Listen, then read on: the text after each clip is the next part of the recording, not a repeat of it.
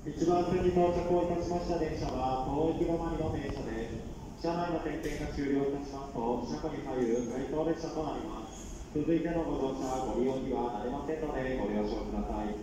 本日に限りましてアクセス特急羽田空港行きの電車は京急線内ダイヤ乱れの影響により運転を取りやめております